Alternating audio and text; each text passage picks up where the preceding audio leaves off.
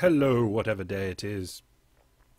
I've put this chart on the front because it's quite a pretty looking chart and I haven't used it before. Suez Canal traffic. Hey. And the world GDP. Nicely put together, isn't it? So, in blue, going back to 1998, we have Suez Canal traffic. Wobbling around zero, that'll be its average traffic, I imagine, and it go goes below its average and above its average.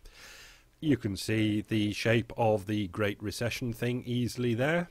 That saddle downwards and upwards, and it's going downwards again.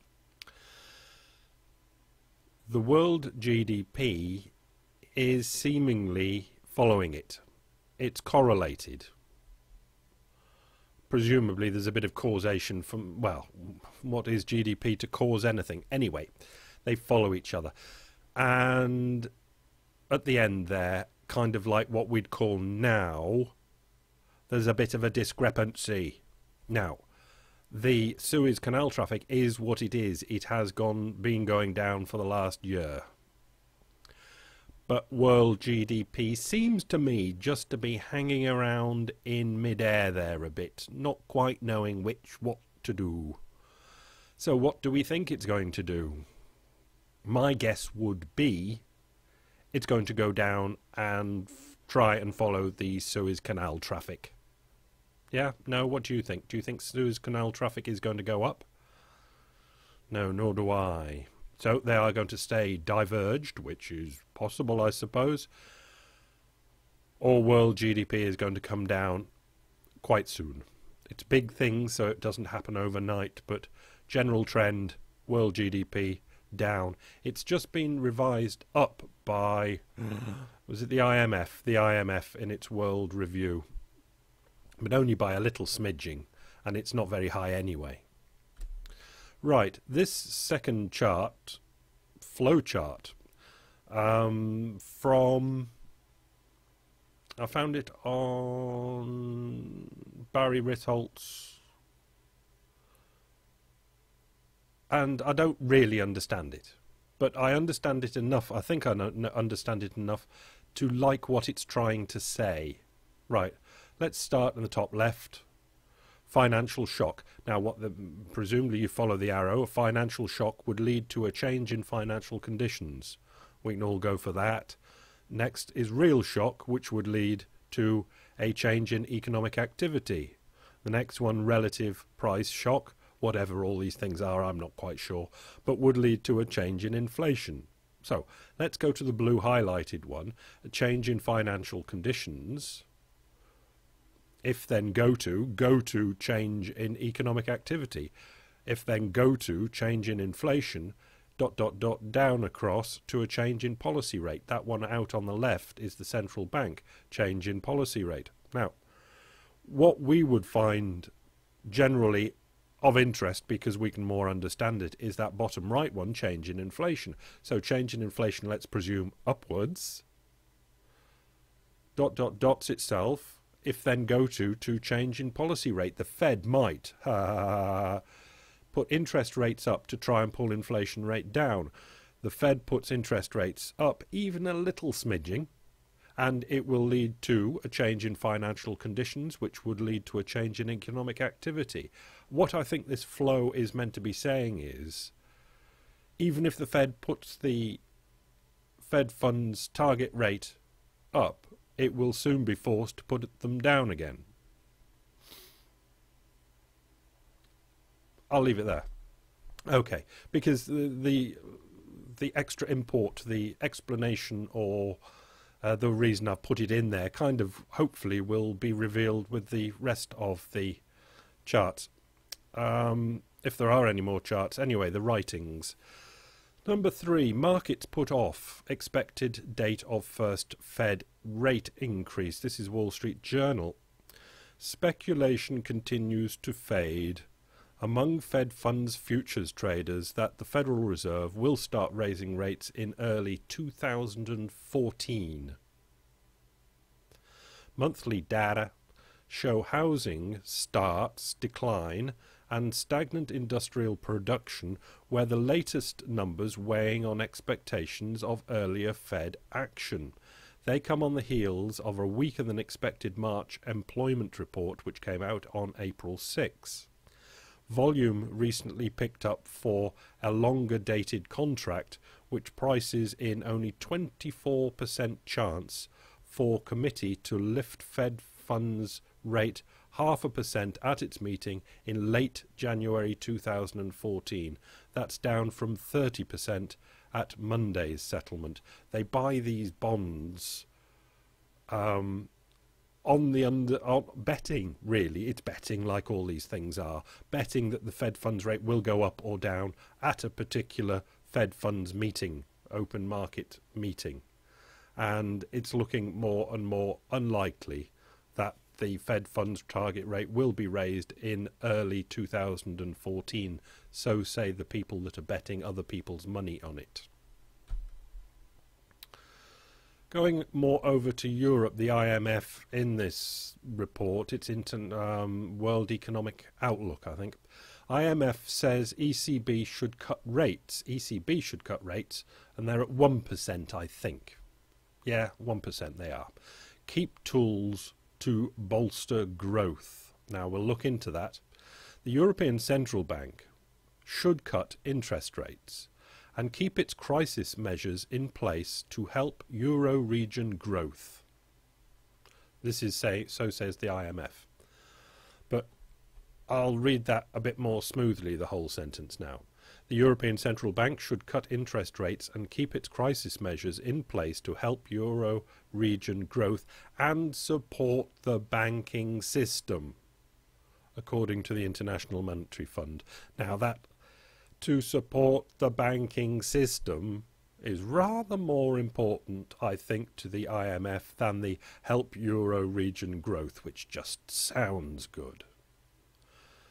Now, this is the IMF. What do they sound like? Just foreign, isn't it? Given, given, uh, given the broad need for fiscal adjustment, much of the burden of supporting growth falls on monetary policy. Now, it would come out as boring as that and hard to be hard to grab hold of some of this stuff, isn't it?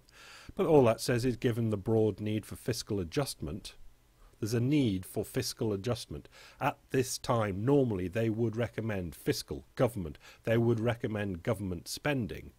Much of the burden of supporting growth falls on monetary policy. In other words, the governments don't have what the IMF call um, headroom for fiscal adjustment. In other words, they say that the governments have borrowed and spent enough so it falls on monetary policy. Monetary policy is central bank policy. The Washington based lender, that's the IMF, said today in its World Economic Outlook the ECB should lower its policy rate while continuing to use unconventional policies to address banks' funding and liquidity problems. In other words, support the insolvent bastards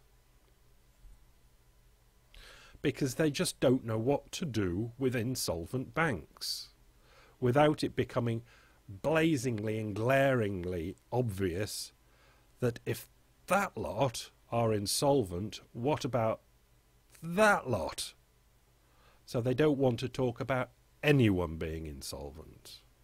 But if they don't, that is just pushing a, a, a, a very big gorilla riding a very big elephant under a rug. Okay, whatever.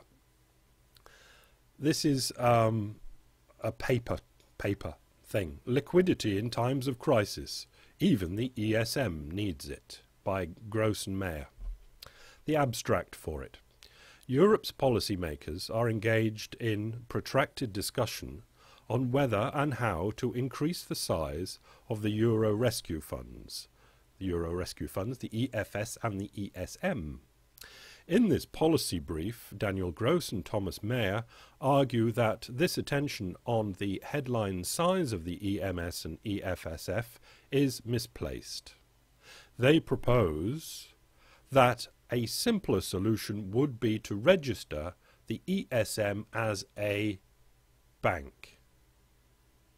With access to the ECB under the same conditions as apply to any normal bank. This would provide a liquidity backstop for the EMS which could refinance any secondary market interventions at the ECB. The size and guarantees given to the ESM would then become secondary. Are you following? I hope so.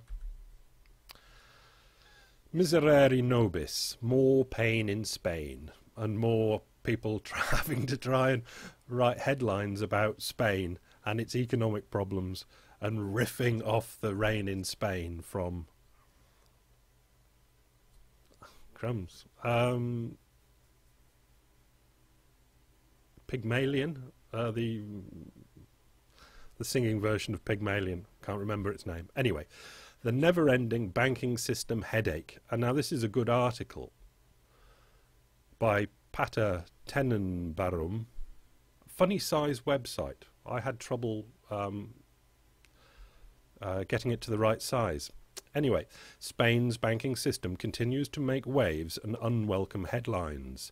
On Friday, it became known that the banks have borrowed a record 316.3 billion euro from the ECB as of March, up from 169. That's not quite double, but it's getting on for it, and that's 28% of the gross borrowings of all banks in the euro area. Uh, leave the brackets out. This means Spain banks have little to no access to the interbank market or other private funding and have evidently made maximum use of the second LTRO. I just point that out, just saying that of the whole system, probably the world system, that's the weakest point. Doesn't mean it'll, the system will ultimately break at its weakest point, but the Spanish banks do seem to be the weakest point. French banks not far behind. Rightmove. UK housing house asking prices up to pre-crisis records. Now, um, I'll just slip in here that I was doing my comments this morning on OTP and replying to people about my, at the moment, I'm exhausted, very tired. Don't know why. Maybe it's a bug, maybe it's something else. I just tired and emotional. Anyway, doing my comments, what came to mind was the lead up to the Second World War, an appeasement of Hitler or Germany. Appeasement, just it's it's kind of it's looked upon normally is the wrong thing to have done, and if they'd listened to Churchill, things could have been different. But really, when it comes down to it, what could they have done? You know, be stronger on Hitler, put more blocks in place and really mean it or something. But what you get then is kind of you causing the problems but if you do the appeasement thing, then Hitler just does, or Germany, oversteps the mark and everybody absolutely recognizes it, then it's fine then for you to come in and do your da da da da da da whatever. You see what I mean? And it's, I think, similar. I didn't write this because I didn't want to really link the two together, but I see, I do see this as slightly along those late 1930s lines, with the with the um, the banking crisis, the the money crisis, whereby appeasement is being done all over the place. IMF, OECD, IMF saying uh, central banks should just lend more money to everybody to keep this thing together. It's very much like appeasement. But what are the other options? Can the IMF do what might be called the Churchill thing, although we never saw the Churchill thing, of saying, no, this is wrong, and, and put a, a stick in the ground and say, this must stop now? But no, because then it would be seen that the IMF had been the cause of the war, the, the, the, the mega breakdown that will ensue. So, in a way, I can 100% understand that people go, um, appeasement, appeasement, just do this, just do that, put more money in, uh, cover this up, um, change accounting rules here, do everything we can. It's appeasement. But we can hopefully understand that there really aren't very many options open to normal uh, humans. Normal humans are open to this thing of, I don't want to cause fucking war. So they don't. So they just are doing the best they can to cover things up, to appease, to keep things going until it then does break. And then they can go, hopefully, into another mode of then doing something about it. But that will be a major problem because the doing something about it won't be as easy as having a direct target to attack. It'll be a much more diffuse problem. But we'll see that when it arises. So, okay, back to Rightmove UK house asking prices up to pre crisis records. House asking prices rose 2.9%, average uh, £243,000, uh, above the old uh, record of £242,000. Peace in our time.